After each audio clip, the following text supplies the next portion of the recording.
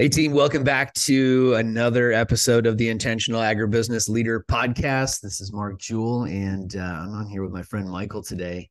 And uh, Michael, help me pronounce the last name. Is it Pashada? Is that how we how we say the last name? If you were in Sicily, you were saying it correct. But if you're in South Georgia, a lot of folks would say Pescata, and yeah. I'm fine with Pescata. So got it. Pescata is what we'll go with. I live with Italians, you should know this. So this is why I'm what I'm I'm reading what I'm learning how to speak here with my my wife and my Italian mother-in-law living in my house. So oh, that's very good, Mark. You're very perceptive. So. Yeah. All right. Good stuff, man. Well, hey, I want to open up with our with our, our traditional question at this point. What does it mean for you to be intentional, Michael? Man, for me, Mark, it's it's about the heart. And if I'm thinking about what I'm going to get done for the day, uh, when I wake up in the morning, usually I'll have things that are cloudy on my head, but whatever's in my heart, I'm going to see it through. And I feel like a lot of times, uh, even in work, you know, our heart is drawn closest to those people that we have the strongest connections with, and that's who we're going to get stuff done for.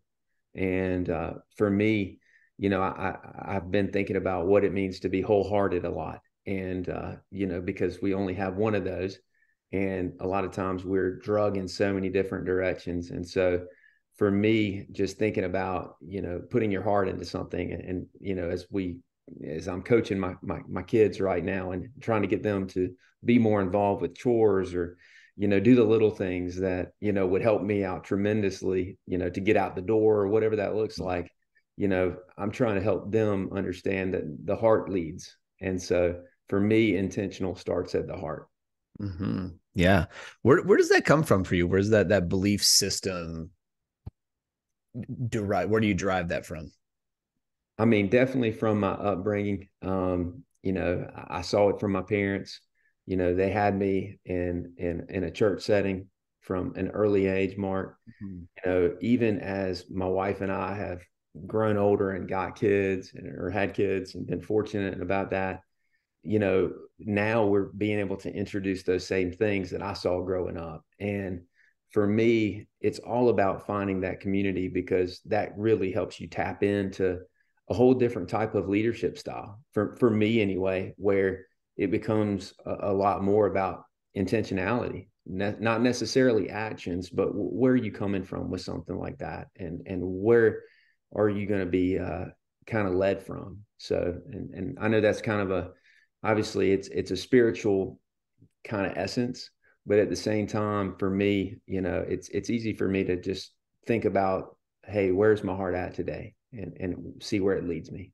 You bet. I love it man. And, and i love your humble nature and the uh, the root of of where that's coming from. And it's so important. It's so important to really know. It, it sounds like you kind of have one of those things that we teach, which is that clarity. Like at the end of the day, this is what I'm trying to create in this relationship. This is what I'm trying to create with these kids. Even if part of what I'm just trying to create is a little, a, a little, a few things off my list that the kids can now handle.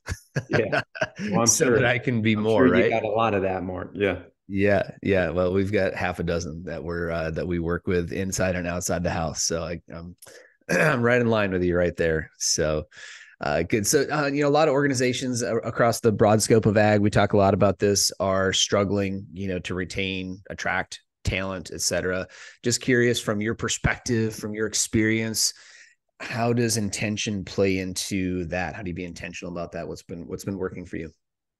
Yeah, that's a that's a really good point. Um, so I, I work for a company in what some would consider as the biostimulant space of specialty fertilizers and it's a tough space. Um, you know, people expect a lot, um, whether that's the leadership of the groups or whether that's the investors of the group. They expect a lot, and so you know, there's been a lot of of I guess push and pull within the the employees or comings and goings as people are trying new things and trying to build up different co- companies. And so I've been with the same company for six years which is a lifetime by certain standards of these types of companies. day and age, that's true. and and I have a lot of counterparts that work for my same company that are in that six to ten year range. And you know, I, I think we've had some really great leaders within our company. We fostered some really good environments um, where we can we can work together and we can collaborate. And I think that makes a big difference. But, you know, and I think you know this more than anybody, you know, uh, retention is recruitment.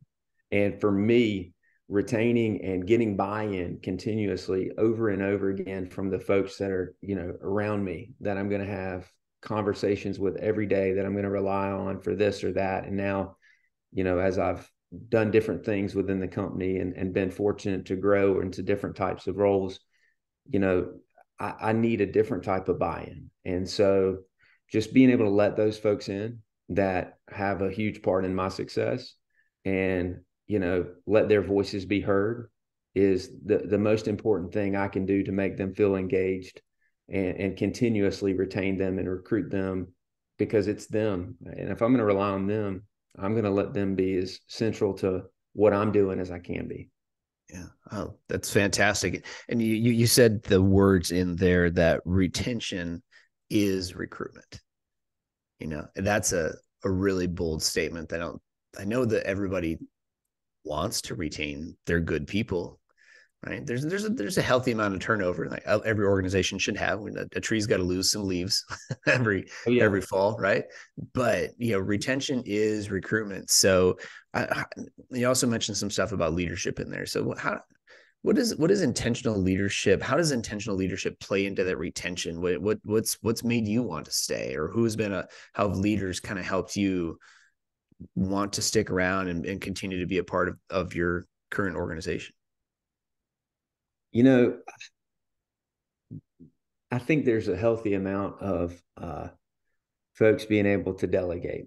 Um, and, and it started small. Obviously, I, I started on the ground level from, you know, just being in the field and, and working with growers and working with dealers and distributors like anybody else. And, you know, um, I had the opportunity to, to, to run a couple of, you know, more grower focused trials and obviously produce a result, you know, not necessarily whether the products work or not, but how those were packaged and communicated. And, you know, I was thankful that I got delegated that responsibility of saying, hey, get this out to the team. And from that one opportunity, you know, it's definitely grown my chances to do that over and over again. And as, you know, we've armed, you know, our sales force with things that have helped them grow and communicate it's been uh, it's been a real blessing to me to see them kind of have that same kind of delegation that I've been able to put toward them.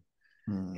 And um, you know, I, I, believe that you know power is being able to let power go.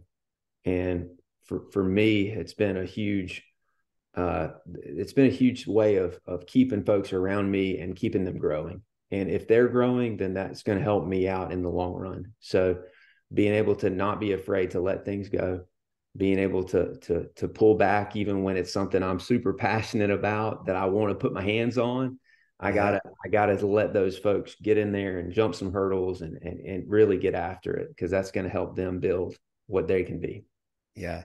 Okay. So if if I'm a leader and I have some things that I know would boy it would be easier if somebody else is taking care of some of this stuff for me. But I also know if I do it, it gets done right and we're not going to have rework. We're not going to have to do it over. We're not going to have to retrain someone. I find myself stuck, right? Because the and there's a very powerful statement that you said here, which is power is being able to let power go. That's a powerful statement, right? so, what what advice would you give somebody who's maybe holding on to the power and letting it go would benefit them benefit the organization, benefit the team member that would get to get to to learn something new. But it's tough, right? Because we're always in the heat of the battle. There's always deadlines to meet, customers to keep happy, et cetera, et cetera, et cetera. Right? What's your advice? Man, you know, I, have been faced with this a lot recently, and um, there's been there's been some influences toward me that have have shown me a couple of things that I, I can't take credit for. Obviously, you, people are aware of Dr. Brene Brown.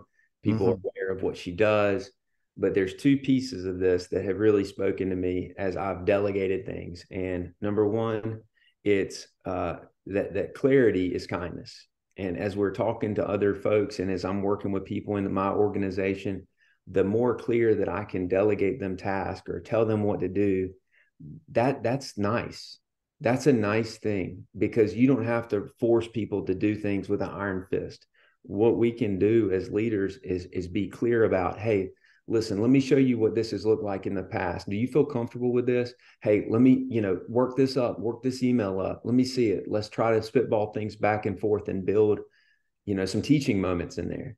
Mm-hmm. and that's kindness because then they don't feel like it's you saying go do this responsibility right now. You know it, it's not it, it's bringing the ownership to them letting them take part of that.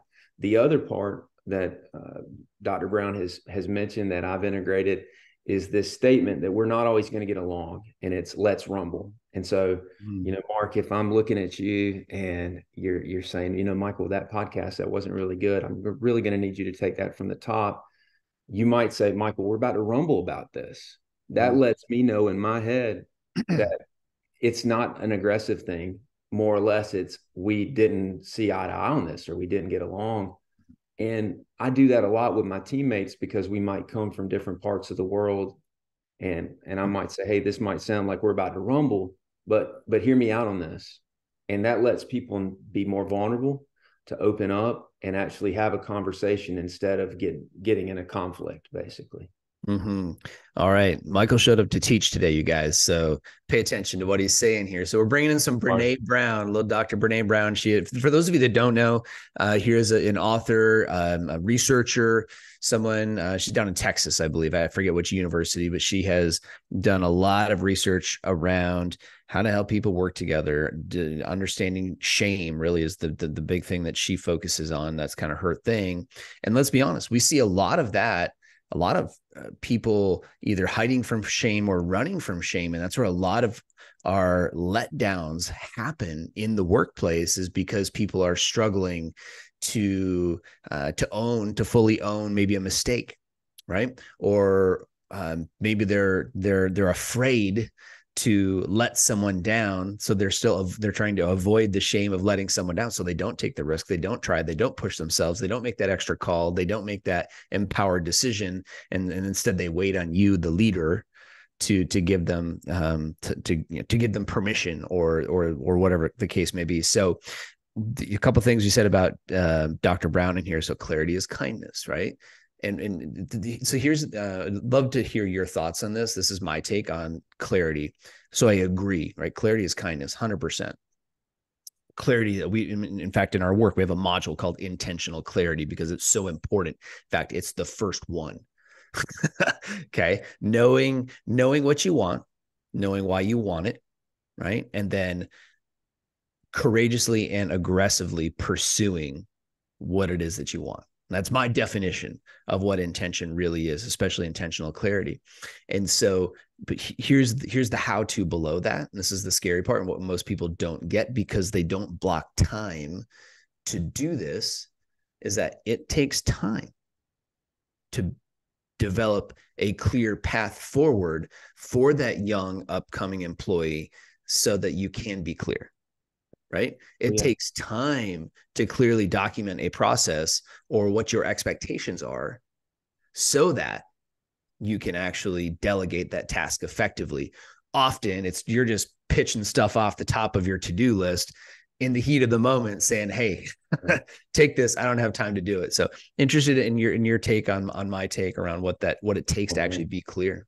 Oh man, Mark, you you nailed it, buddy. I I just want to say this if I looked at the folks that people are always coming to me and saying, "Man, did you hear what so and so did?"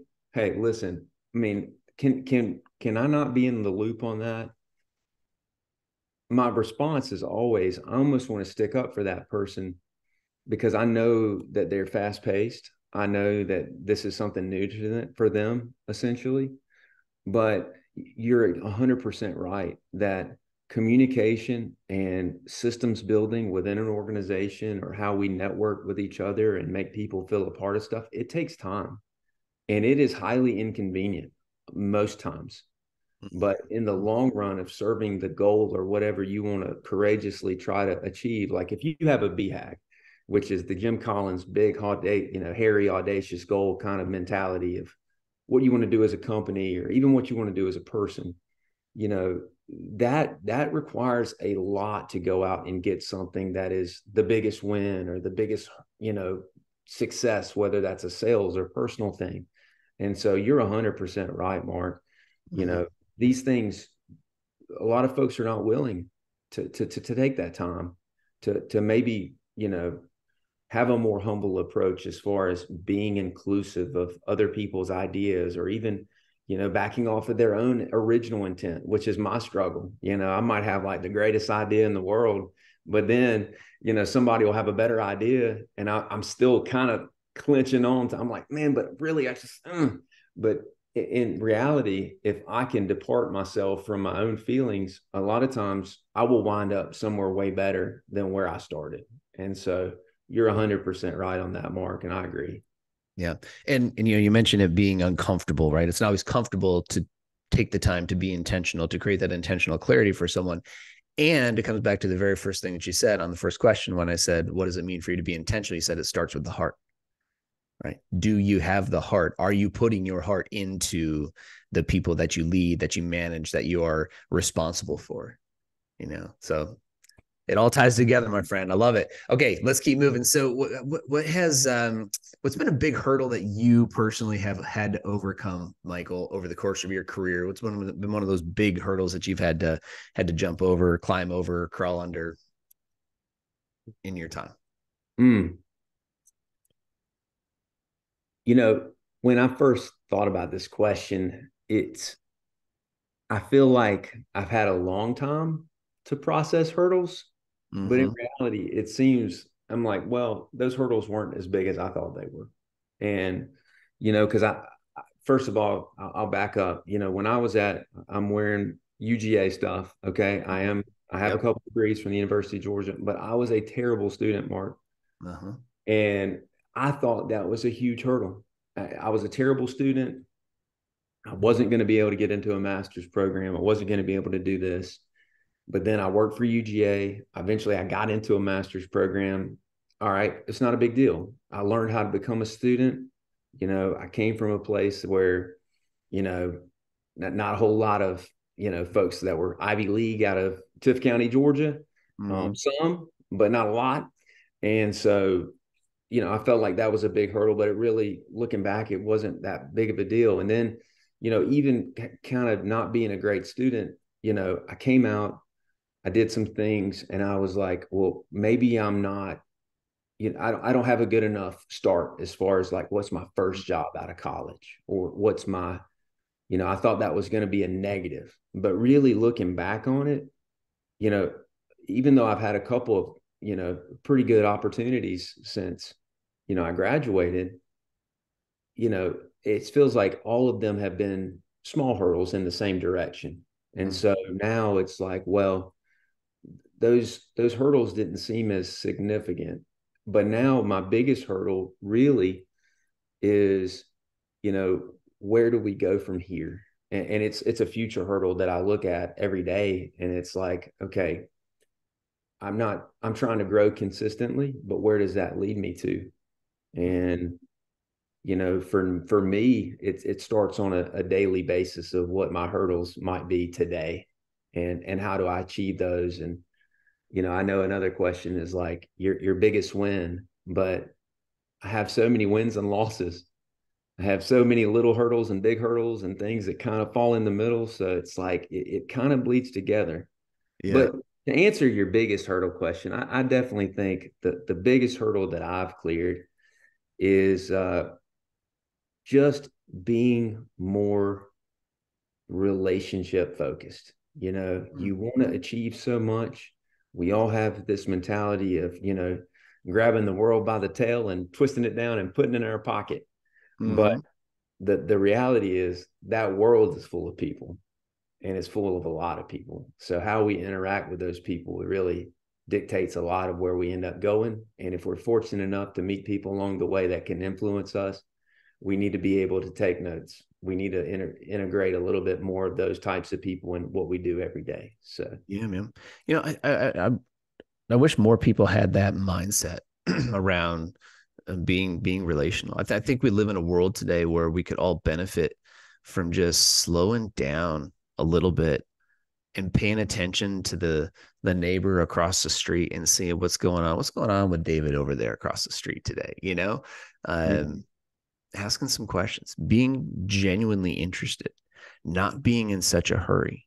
The other night we went out to our oldest uh, child um, wanted us to meet the um, uh, her her partner's uh, parents Okay. Mm-hmm. So they're deep in the relationship and they she wanted us to to go and meet her significant other's parents, right? So we go to dinner and uh, I forgot my phone, which is not necessary. It was a Sunday night. It's not necessary. There's nothing going on, but you're just so accustomed oh. to having the phone, right?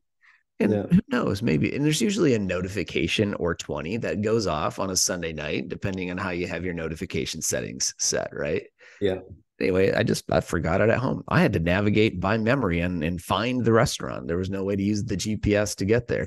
right. Anyway, I just I noticed I, you know three hours went by and I never reached for it. I never looked at it. I never went to the bathroom and like checked my LinkedIn or anything like that or email. You know. And it was so nice because I could just be there and lead that conversation and ask questions and be interested. Yeah you know it's and it's all relational and this is we're not doing business i'm not selling anything to these people and the kids are going to do what the kids are going to do they're 22 years old they're on their own path at this point but by golly it was so interesting and refreshing to just be there for those couple hours and then the you know the half hour drive to town the half hour drive back with my wife and just not be looking down checking notifications man oh, yeah. so By the way, I was in, I'm in your camp, man. I was like a two point, I had, I had to scrap my way to get to a 2.8 GPA coming out of the University of Minnesota. So I was, when, whenever the, the internships would come along saying you had to have like a 3.25 to apply, I'm like, I just didn't even try, you know? Yeah. Oh, yeah. Oh, yeah. Did you, I don't know, did you have a similar experience uh, to me? I don't know if this is not to put you on the spot with this, but I found graduate school much easier to, ah. to stay on top of like, as far as like, writing the papers and doing good quality work and turning stuff in on time the things that there's being a good learner and then there's just being the person who executes on turning stuff in on time and you know mm being prepared so i don't know that was my experience grad school was way easier for me man and, and i was so so blessed mark because I did have the opportunity to work on campus. You know, if you work sure. for the university for six months, they'll pay for nine hours of your grad school a semester. So mm-hmm. you know, mm-hmm. great university system of Georgia Perk. And so I actually had a real office and I was not making real money, but I had a real office. And right. and also I was in charge of, you know, mentoring these super awesome, well-educated students that were coming from awesome college preparatory backgrounds. And I would see how serious they were. I mean, these guys were like 19 and 20 they were they were the furthest from being an amazing student you would imagine, but they knew what to do. And they highly influenced me, Mark, because I'm like, if these guys can go have fun and still knock out 4.0s from the Terry College of Business at UGA, what's my excuse? Man, I have an office. Like I have internet yeah. printing capabilities. I have all this. And like I better get right because you know, my students, they might judge if they knew I was slacking at grad school, they'd be they'd be probably judging me. So I right. wanted to step up for them, but I was older too. Uh, my wife and I were pretty serious, so we were about to get married, and so I knew I needed to to go out and and nail it. And uh, ultimately, I ended up having a job during my final semester that I started in the middle of kind of my studies, but everything was paid for, so I got to bounce from UGA and my office job to a different kind of job. But sure, being older helped definitely. There's helped. something to be said about maturity. Yeah, a lot. Yeah, for me. Right. Yeah. Who's been uh, in, in in the creation of your maturity? Who's been somebody who you've really admired over the course of your career? I mean, for my career, um, in, in, the state of Georgia, there's a there's a, a, a gentleman that's an institution. Uh, his name is Abit Massey, A B I T. He's mm-hmm. around 95 ish. I might be butchering that. He's around 95 years old, but he will still be at the uh, the state capitol. Uh, he ran the Georgia Poultry Federation for about 50 years. Mm. Um, and he is the kindest person I've ever met. And hmm. Abit is he knows no strangers. He's friendly, and uh, one time, you know, I was seeing him interact with these young pages and interns at the state capitol. Um, obviously, he's a veteran of the halls of the Capitol building in Georgia. Everybody knows Abit Massey, but he treated me like, I mean, I was his personal helper. I mean, he, you know, engaged me, asked me about my family. You know, uh, he asked me about my wife. Obviously, what does she do? Told me about his wife, you know, and his family but he stopped me and, and he said, Michael, you know, I always get to know people. A lot of people want to know why. But he said, I read this book when I was probably 25 years old and you need to read it. And I was like, what, what are you talking about? He's like, I don't want you to be offended. But the book is by Dale Carnegie and it's called How to Win Friends and Influence People. Mm-hmm. And I, he, I don't know if he gave, I think he gave me a copy. And I was like, do I need that? What am I? What it was? What's he? Have I made him mad? But I read it, and and it was almost to the line of things that I had seen him do over the Kate, the you know, forty days of you know being right next to him at the state capitol, and I still recommend that to the the best people that I work with, because mm. even though those words were written, I mean, almost 100 years ago is what it seems like. Mm-hmm. the principles of you know re- relationality and being invested in others i mean they're timeless. And I, I just feel like he embodied that. He still embodies that. He's you know friends with some of my family members now. We have like a different relationship. But i mean he highly influenced my you know and, and another one is obviously my father Mm-hmm. My father treated everyone that was associated or on the periphery of his personal business. He was an entrepreneur. You know, he treated everybody like they were the most important person. And I think there's a huge aspect that's missing of kind of our fast paced world, our drive through culture, where it's like, uh, everything's an inconvenience. But people are people and they want to be treated like such. Yeah. I mean, I cannot agree more. And that's a, fantastic story about both of these guys and what and, and, and a great book rack for anybody who's looking for some time tested and proven content. It's not, it's not a long book. It is not no. a long book. No, and I had a similar experience. Uh, it's kind of kind of funny. I just found a copy of it on the bookshelf in my mom and dad's house. You know, growing up, and my dad never said anything about it at all but I opened I opened up and here was his notes inside the book. And I need I think I still have it around here somewhere. I think I kept it or somebody in my family did, but it was my dad's handwritten notes inside the book from when he went through the Dale Carnegie course. He had started an aerial photography business. He was a pilot and he got a bunch of guys out selling these pictures of farms and everything back in the in the early 70s so he went through the course uh, to kind of help him obviously you know boost up his business and everything. And so we we had that. And so i that was my and other you know being in the leadership world obviously people recommend that to you. There's a whole company you can hire them uh, and you know to, to, to train people and so forth. And so but it's a great book and that's a very cool abit massey bringing uh bringing you the humbling advice like hey i think you should read this. Oh yeah. No yeah. it was it was definitely he's got a great article about him a-b-i-t massey okay. Want, with a y if you want to look it up. It's got his whole the the the, the university just did a great piece on him and uh, mm-hmm. uh, highly obviously a, a, highly valued person. We're very blessed to have him in georgia agriculture so. Of course and poultry being a big big business down that way for sure so Good. Well, uh, so you know, I mean, you've got how many kids do you guys have? We have three. Got three kids. A got lot. a busy, uh, got a busy work schedule, right? Both you guys have stuff going on. So, what do you, what do you do to keep your energy up, man? Because you know that takes that takes a lot. Man, the energy is. I've never, I've never really had a huge problem with it, Mark. Mm-hmm. My, I tell you what, I have a huge problem with creativity, mm, because I just I will get so sapped in this cycle of call. I'm sure you do too, of calls and emails and correspondence and follow ups and all this. And, you know, obviously those are great things. You don't want to miss those. You don't want to miss those moments where you might be able to pull something, but to just take in something that, you know, open my lens up is what I like to say. If I open my lens up and let everything in, you know, I want to feel more inspired than when I started. Hmm. And, you know, there's eh, just experience is a huge part, being outside is a huge part. Um, you know, anytime that I can go do something with my kids that's out of the normal that they don't like push back on is a big thing.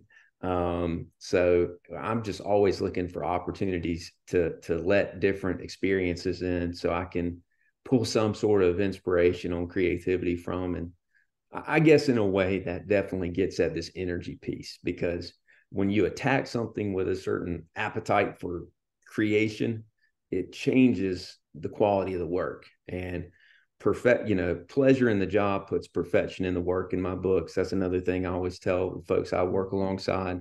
So definitely want to bring bring that creativity and that spice Man, you're full of the quotes today. I'm writing these down as we go. Pleasure in the job. What is it? Pleasure in the job brings perfection in the work. Oh yeah. Come yeah. on, man. Oh, yeah. I love it. um, they're not original. None of these are original, Mark. I can't yeah, take credit for any of them.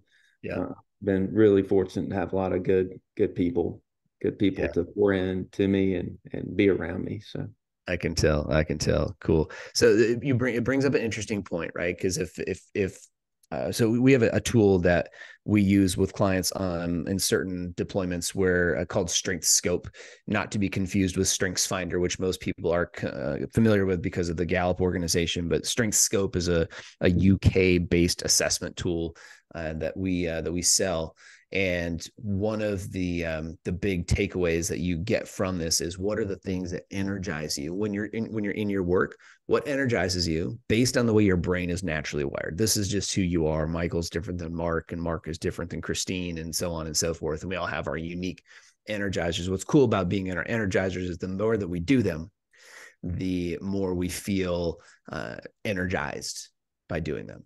Mm-hmm. Right.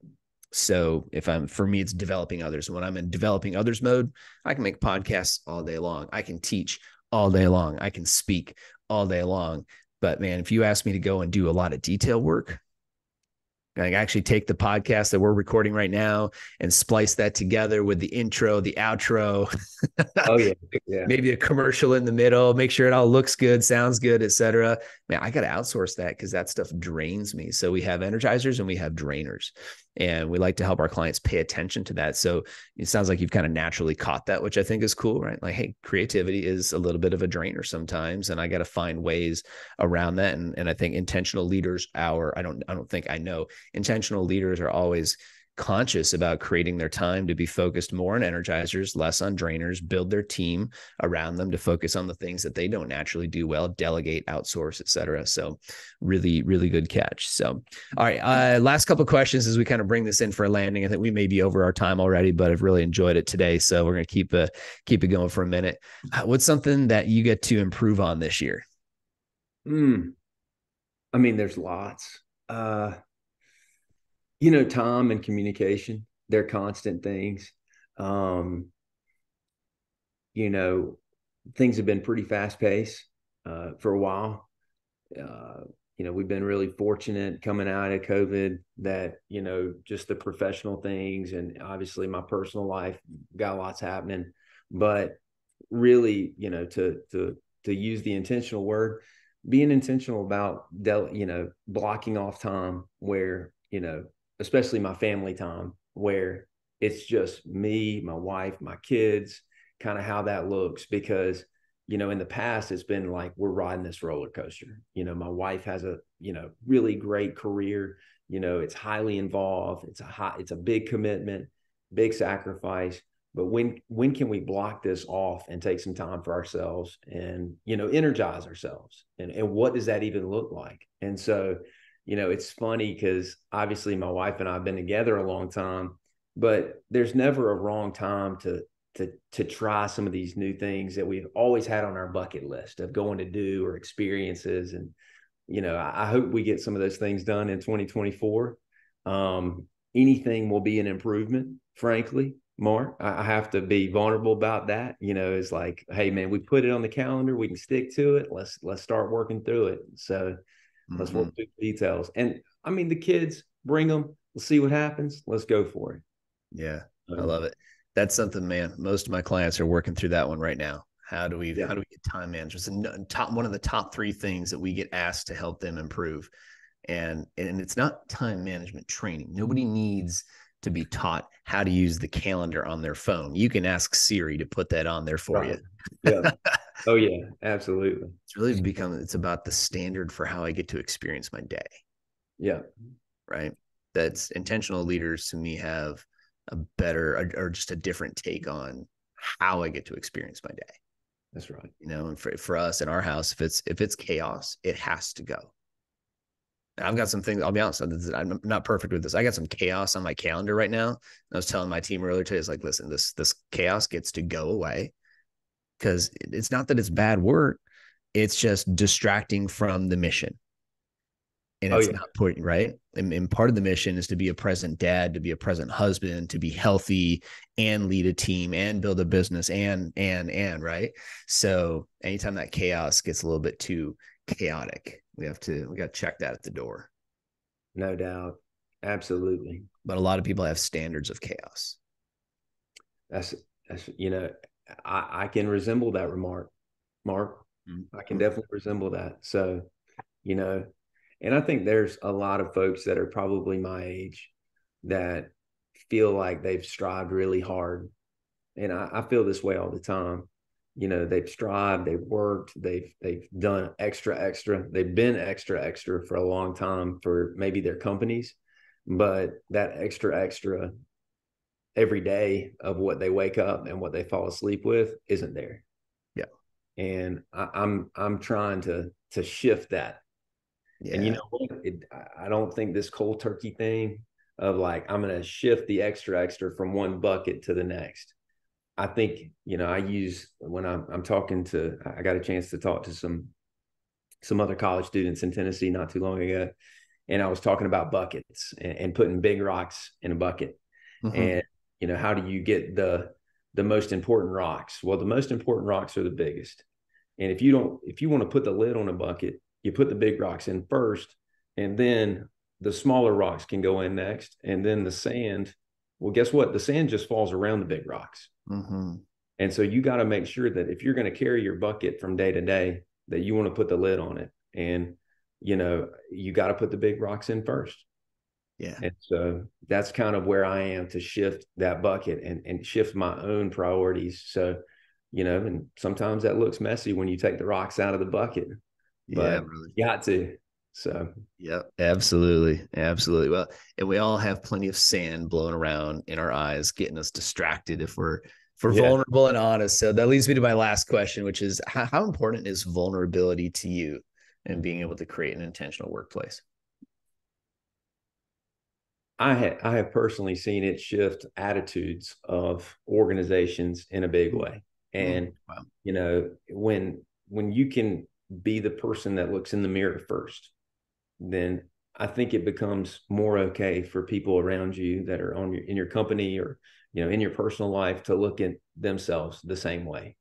And so, you know, it's been sometimes people can abuse that vulnerability, but I think the vast majority of people that see the vulnerability that you're willing to display will say, you know what, hey, we appreciated that. You know, we, we even noticed that in ourselves, or, you know, maybe they say something in this meeting where it, it everybody kind of puts their mirror up and looks themselves in the face and say, well, how do we work together better?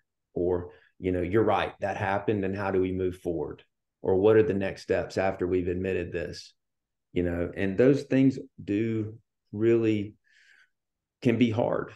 You know, they can be pretty hard. Um, and as a leader, though, and being intentional, you have to be willing to put the mirror up first.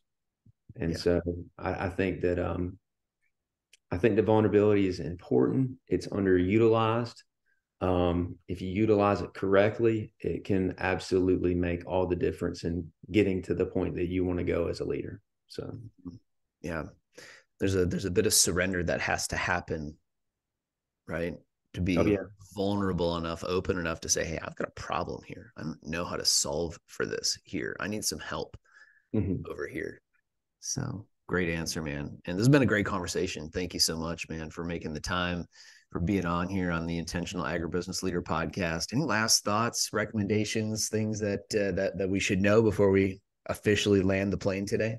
Man, one book. Yeah. Buy in. Uh, how to keep your good ideas or great ideas from getting shot down. Okay. By John Kotter, K O T T E R. Man, it's another short book. Um, it has been a really important part of my last 10 years uh, as far as how I've worked with teams and how I've been, you know, you know, really fortunate to be charged to lead teams, but that's been a, a really big, uh, really big help to me as I look for ways to, uh, you know, we all deal with negativity. If we're on a team, somebody's going to be negative. That's just what they do. You know, it's like God just gives you a way. Hey, you're going to have this one person you're going to have to deal with, and you're going to have to figure that out. But if we let those negativity people in to what we're doing and make them a central part, we're no doubt going to come through stronger than where we were if everybody just said yes at the beginning. So definitely wanted to make that recommendation, Mark. Awesome. Well, thank you for that. We greatly appreciate it. We'll make sure we get that in the show notes for you guys. And uh, thank you. Thanks for being on with me today. It's a pleasure, Mark. Thank you so much, buddy.